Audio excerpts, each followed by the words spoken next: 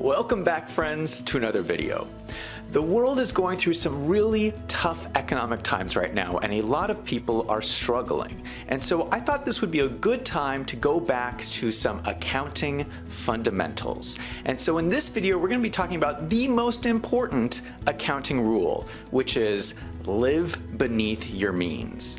Now this is a much more complex idea than a lot of people think and a lot of people get into unnecessary mistakes. And so we're going to be breaking it all down for you in this video.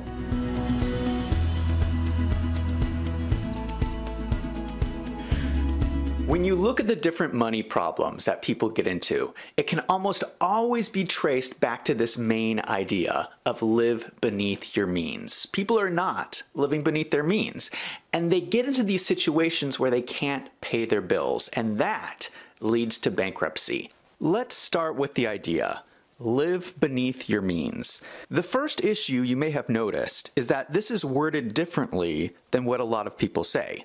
Most people say live within your means. That's incorrect because it encourages some bad habits. It's not enough to simply live within your means, you need to live below your means. Let me explain what this looks like. Whether we're talking about a business or personal finance, you will have a certain amount of funds coming in as revenue and a certain amount of funds going out as expenses. This is your cash flow. Your planned monthly expenses need to be lower than your revenue. The diagram on the screen is what everyone's financial life should look like. Unfortunately, most people will plan to have their monthly expenses match their revenue, and a lot of people even exceed their revenue. Both situations inevitably lead to money problems. What do I mean by monthly expenses?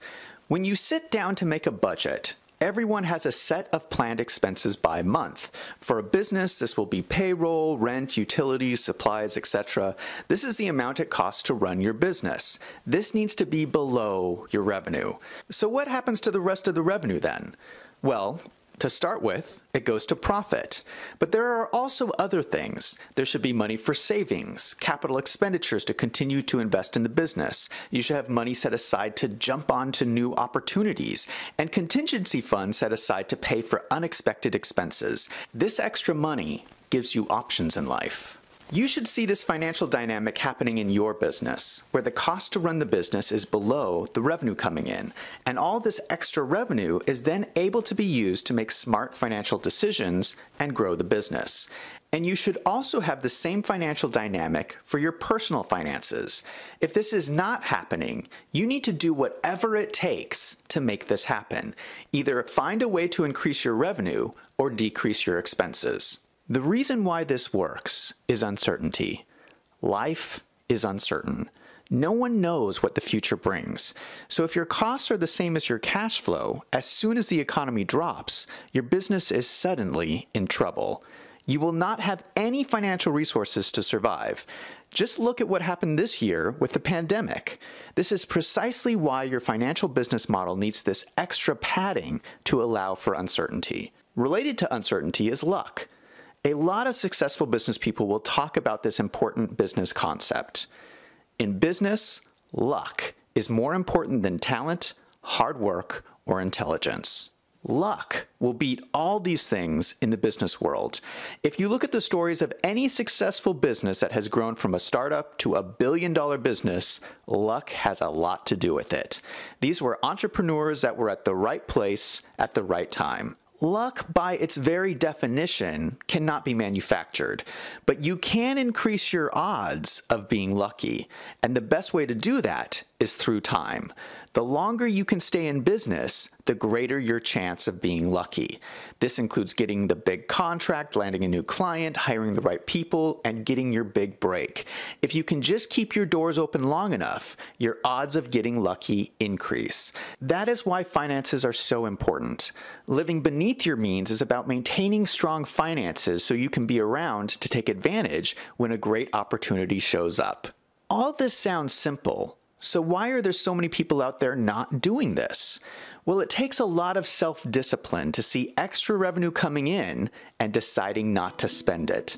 A lot of people can't do that. So it is your job as an accountant to put reports in place to hold yourself accountable to ensure this happens. Monitoring cash flow is the key. I see so few businesses using reports to monitor this. What most businesses do is prepare an annual budget. They will sit down once a year in advance and plan out their expected revenues and monthly expenses. This is a great start, but doesn't address the problem. The problem is that revenue is constantly changing and your expenses need to adjust with it in real time. What you should be paying attention to is your burn rates. What is your burn rate of cash each month? If revenue is changing, how can you adjust your burn rates to match? One way of doing this is called flexible budgeting. If you're interested in flexible budgeting, I have a white paper on the homepage of my website, wolvesandfinance.com, called Supercharge Your Business. It's free. You don't have to sign up for anything. You can just download the PDF from the homepage of my website. When I work with a business, I spend a lot of time focusing on burn rates and ensuring that the overall business model meets this framework. Every business should strive to live beneath their means or they risk running into money problems. I hope you found this helpful. If you have additional accounting questions, you can always email me on my website, wolvesandfinance.com, and I will reply with my rates. Thank you so much for watching. I'm Zach from Wolves and Finance. Let's go out and make some money.